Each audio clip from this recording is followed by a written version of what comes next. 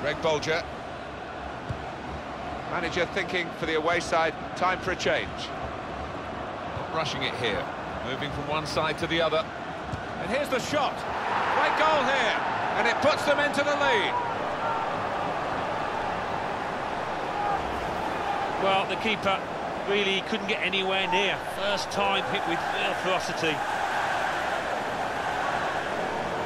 Another angle on it here.